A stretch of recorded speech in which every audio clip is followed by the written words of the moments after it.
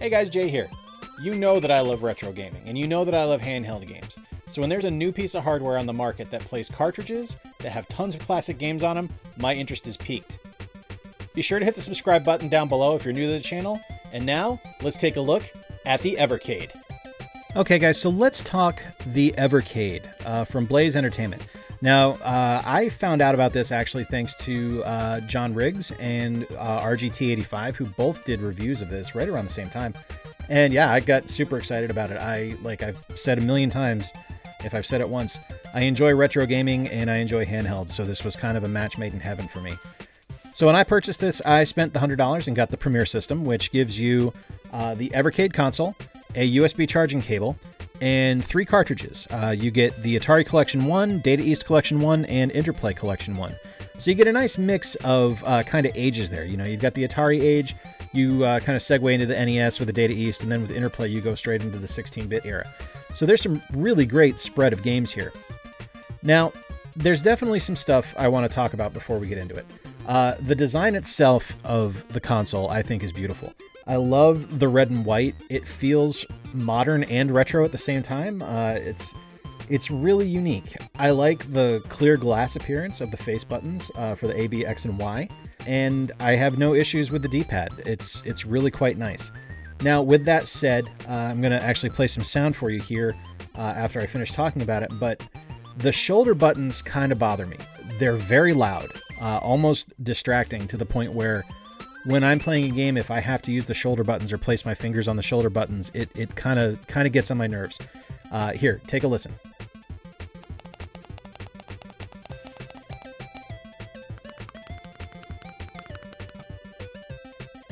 Now, that's not to say that they don't function. The shoulder buttons work just fine, but uh, it's loud. It's not something that I, I really it's not something I can really get upset about because it doesn't impact the functionality of the console or the games at all, but it is something that I notice and it's something I recognize and it's something I hear every time I play it.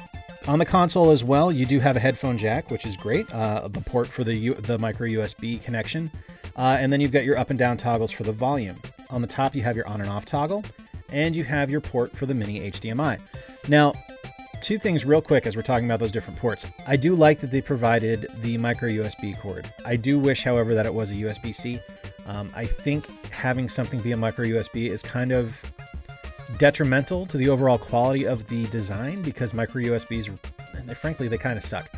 But I understand it's also a cost thing. I mean, I got this console for under $100 tossing in stuff that's a little bit more expensive technology is just going to drive price up, and I, I'm pretty sure they probably wanted to keep it at an affordable price point, which I respect.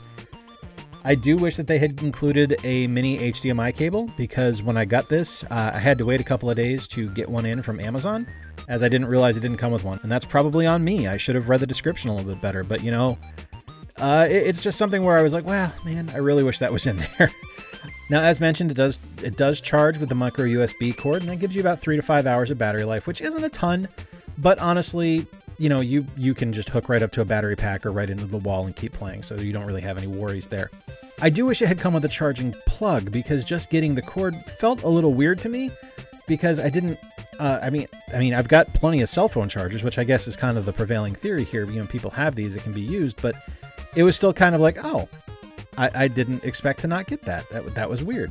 Now, moving into the cartridges, guys, as you can see here, the packaging is gorgeous. Uh, you get it's like a classic Sega Genesis clamshell. It's it's very hard plastic. You've got the outside uh, kind of clear scrim over the interior uh, cover, so everything looks really. It feels classic. It feels retro, but at the same time, it feels very modern. Each of the cartridges comes with a full color instruction manual, as you can see here. Uh, and if you go through, like looking at the Atari one, you get a rundown on each of the games. Uh, you get some kind of behind the scenes facts about each one, which is really neat. Uh, in particular, for me with the Atari collection, I, I, wasn't a big Atari gamer growing up. I, I skipped the Atari, went right to the ColecoVision and the NES. So I don't know a lot about the Atari. And, you know, granted, they're not necessarily games that I love, but it's neat to learn about them and it's neat to see what they are. Uh, and is you know one of the other things I really like about this is you can see here, guys, the cartridges uh, have full art on uh, a full sticker on the interior, and then on the outside they've got uh, screen printed what the game is. And when you put it into the Evercade, you actually put it into the console itself. It's such a smooth lineup that it just it looks beautiful. Like I can't I can't say enough how much I enjoy the appearance and the aesthetic of this system. It's really nice. So right now, guys, there are 14 cartridges announced, and one of the really nice things about that is these, these aren't one-and-done cartridges. You're getting multiple games on each one. Now, the smallest amount you're going to get is the two-pack of Xenocrisis and Tanglewood, but most cartridges have at least six games on them. And in the case of the ones that came with the system, you get 20 games on the Atari collection, 10 on the Data East, and then 6 on the Interplay collection. Now, there are some other ones that we don't have here. There is the Oliver Twins collection, which gives you 11 games. Uh, there's two Namco museums, uh, Collection 1 and Collection 2. The Piko Interactive collection, which gives you a ton of awesome independent games. Uh, we've got the Mega Cat Studios collection, which is, again, a bunch of great, uh, great independent games. Uh, Interplay Collection 2, uh, Atari Lynx Collection 1 and 2, and Atari Collection 2. So there's a ton of great stuff here. But in particular, I want to go over the ones that I've got. So I got the three that came with it, the Atari Data East and Interplay Collection 1s, and additionally, I later purchased uh, Technos Collection Volume 1. Uh, now, with the Atari Collection Volume 1, you get Centipede, Adventure, Alien Brigade, Asteroids, Missile Command, Crystal Castles, which I love, Food Fight, Desert Falcon, Motor Psycho, Canyon Bomber, Gravitar, Double Dunk, Ninja Golf, which is ridiculous and wonderful, Steeplechase, Night Driver, Tempest, Video Pinball, Aquaventure, Yar's Return, and Sword Quest. There's a lot of classic stuff on there. Uh, I have played so far, I've played Centipede, Adventure, Asteroids, Missile Command, Crystal Castles, Food Fight, uh, and Ninja Golf. And, you know, while I'm not a big Atari gamer and I don't know that I'll be keep going back to this cartridge, it was a lot of fun to, to step back to when I was a little kid and play these games again. Now, Data East gives you 10 games, and it is a just amazing collection of 10 games. Uh, you get Bad Dudes, which it's Bad Dudes. Are you a bad enough dude to save the president? Burger Time, which is a classic. Midnight Resistance, Side Pocket, Two Crude Dudes, Fighter's History, Joe and Mac 2, Karate Champ, which I am terrible at, and you'll see in this video, Magical Drop 2, and Burnin' Rubber. So you do get a nice mix here. You've got classic Data East beat 'em ups with bad dudes and two crude dudes. You've got a fighting game with uh, Fighter's History. Uh, Joe and Mac 2 is one of the best platformers ever made. I don't care who says it. And then you've got some neat puzzle platforming with Burger Time. Uh, but honestly, the one I have enjoyed the most off this collection, which I did not expect, was Magical Drop 2. It's a really wonderful little puzzle game, uh, and it's it's loud, it's funny, uh, and it looks great. It's so good. Now, moving over Interplay. Now, Interplay was at its best uh, in uh, in the 1990s, where there were just amazing games released. Uh, and with this one, you get Clay Fighter, Boogerman, a flick and pick adventure, which uh, just a heads up with Boogerman. Uh, sounds and plays great in handheld mode, but when you get it onto the TV, the sound is a little wonky, so be, be aware of that.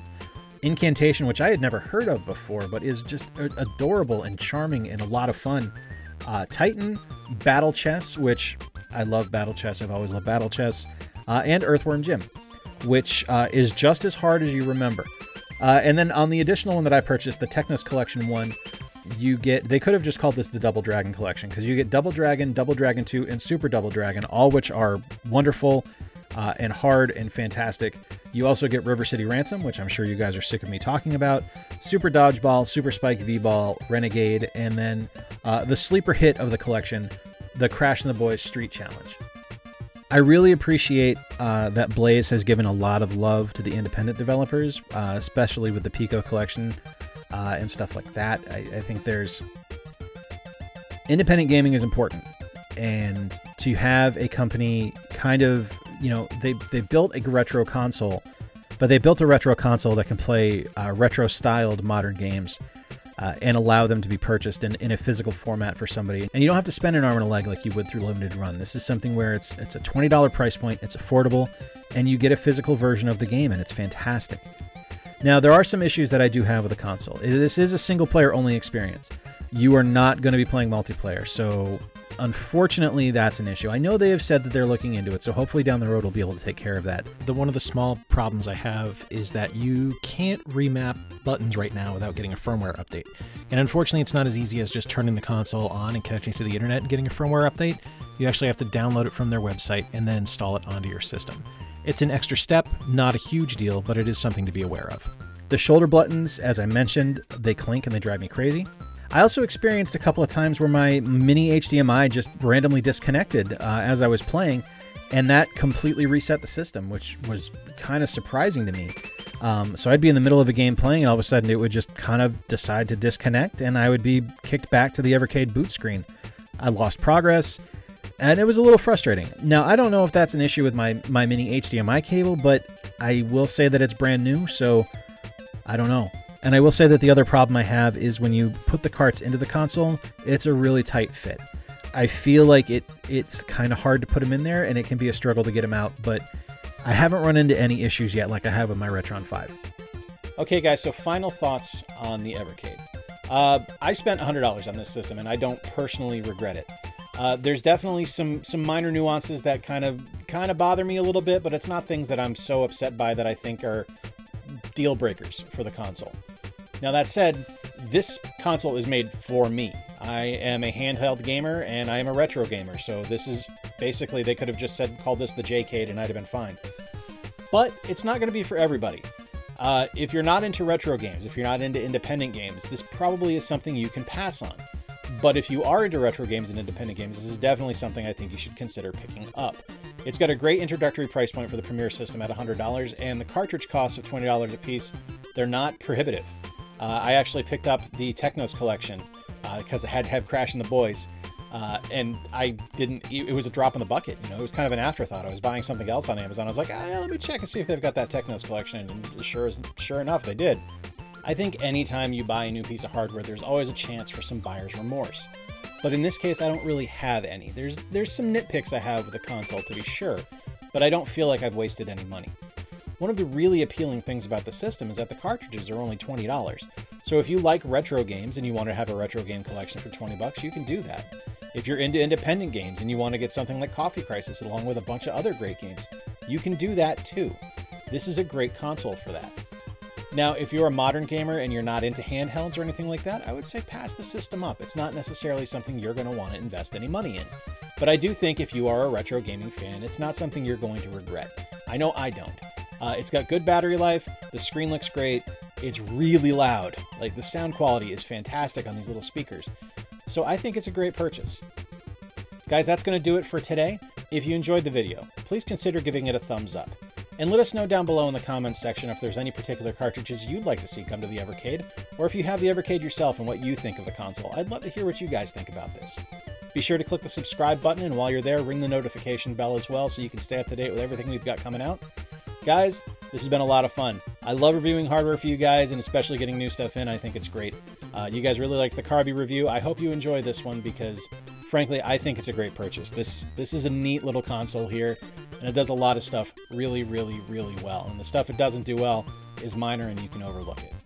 Until next time, guys, I've been Jay, and you stay square.